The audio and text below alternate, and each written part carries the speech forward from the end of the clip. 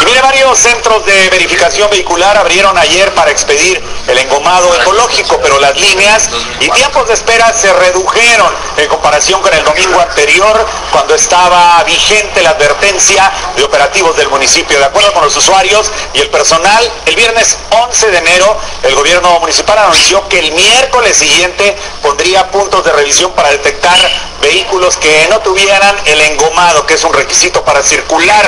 Y así fue. Un día después, el 17, el alcalde informó que ante la buena respuesta de la gente se suspendía.